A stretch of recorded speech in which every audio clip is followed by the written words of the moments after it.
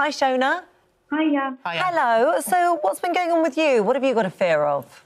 Um, basically, um, I think it's more of a fear of sort of losing myself. um, I've basically um, recently gone through a breakup, um, and I've really just lost all confidence, all sort of identity, and just lost myself completely. Okay. And the thing is, with something like that, is that we've all come off the back of two very bizarre years where you were locked in and almost lost some of your social skills anyway. No, I did. Yep. You know, feeling more uneasy Yep. about going out, and then a partner as well. Yeah, absolutely. Uh, so yeah, it is really understandable, and that is just such a good point. However, uh, can I just ask Sean, how long were you together for? um, we were together five years. Okay, um, and you you don't have to tell me why you broke up, but was there a definitive reason why you broke up? No reason whatsoever. Um, Oh, okay. There was no sort of closure or anything. I have no idea why it's happened. Really. okay. That makes it Yeah, harder. it does make it harder. So what? Because what you're actually saying is that you've lost confidence in yourself and your own ability. So first of all, I, if you've been together for five years, I want you to first of all look back and appreciate the years before you even knew your partner and how you survived. Perfectly well through that time. So that's the first thing I'd like you to do. The second thing I'd like you to consider um, is that relationships are very much like shoes. And you might wonder what I'm talking about. But we go through life and we have different pairs of shoes. We have one that we keep forever and they're really comfy. We don't care if they're falling apart. We have some that look amazing in the moment and then we try and walk in them and we get blisters from them. We have some that are just fashionable for a short period. And literally that is the same whether it's, you know, friendship or relationship you know, we, we literally have these different variations. So basically, you've been walking in some shoes for the last five years that for some reason, they just didn't fit quite right. But I don't want you to lose sight of the person that was walking in those shoes, and, and that was you. So, what the things that you need to do appreciate all the years before you met that person so that you and think about all the things that you did before you met that person all the holidays you did the job interviews exam results passing your driving test whatever it might be because we're going to build your confidence that way secondly i'd like you to appreciate that for whatever reason that relationship ended it wasn't necessarily because it was your fault. It just might be that that shoe just didn't fit quite right. And then the last thing I'd like you to do is because you've given a lot of power to the relationship, and do this when we come off air and just have a when you finish this call. I want you to imagine your, your ex partner's face, and you'll probably notice that you see it quite close. And that's why it kind of, you're not letting go. Literally, imagine getting that image and pushing it far away till it floats away, and then give me a really big sigh. That will help to cut that emotional tie so that you can move forward. Right, okay. Lots there to go on. Yeah, there is. There is. Um, probably a lot to process and think about, actually, but you've got some Yeah. homework to do, so we'll leave you to get on with that, OK? Okay, thank you so much. Good Thanks, luck. Shona. Thank, Thank you. you. Be confident. Get out there. Live your life. Enjoy it. Uh, hi, Jacqueline. Good morning. Good morning. Right. Okay. This is a tricky one. Um, okay. How can they help? I've a fear of flying.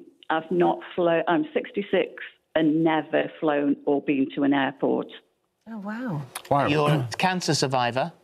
That's right. Yeah. Okay. Was that recently? Yes. Okay. And you've travelled to Spain in the past by coach, but it's a 26-hour journey. A long coach journey, yeah. Yes. Okay, so uh, the great thing is with this, Jacqueline, is no one is born with a phobia of flying. So that's that's our baseline. So something has happened in your life for you to have this phobia or fear. Uh, so either you, uh, the, the two main reasons to, to get that is either you've had a bad experience or maybe copy behaviour. So can I ask you about your parents? Did your parents fly a lot? No. My mum had a fear of flying.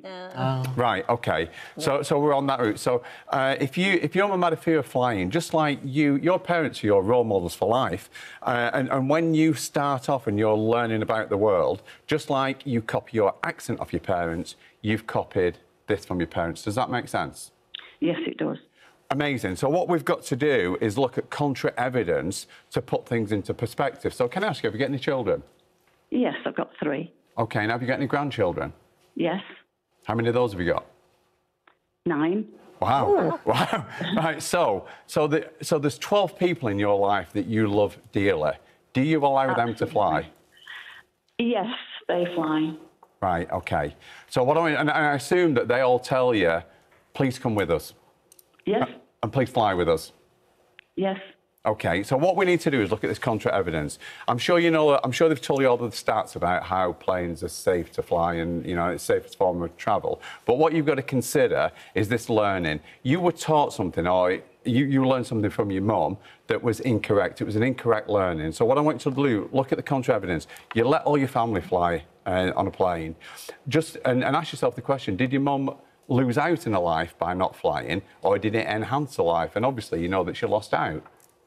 Yes, she did. And also ask the question of who actually knows better somebody that's never been on an aeroplane or somebody that's flown lots. And then consider things like, well, why would a pilot or cabin crew go on aircrafts? So you're looking to literally just get lots of information together uh, to help break that, that tighty fight or flight response that gives those feelings of anxiety.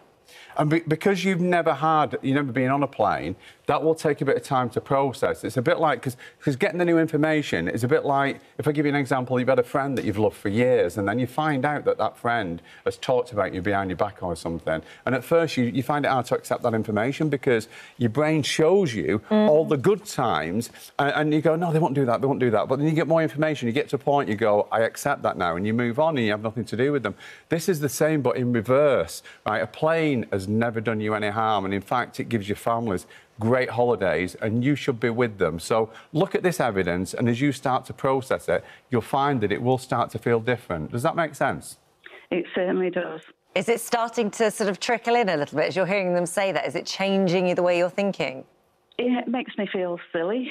Mm. Right. Funny, isn't it? Uh, I've seen that reaction so many times, and that's followed by an acceptance. Yes. Just, just so you know, this is a good thing. Well, can I say, Holly, you've been there, haven't you? Yeah, in that situation exactly. with flying, yeah. yes. Yeah, totally. Yeah, uh, absolutely. Let us know if and you also, you know, you the, it, suddenly by by accepting all of that, the world goes bam! At this stage of your life, yeah. the whole world is um, is open for you, and all Amazing. of the things you didn't do are suddenly right there on your doorstep. Yeah.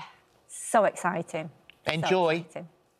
Thank you so much. Ah, Thank you. You're very welcome. Bye now. Thank you. a lovely gift you yeah. give to people.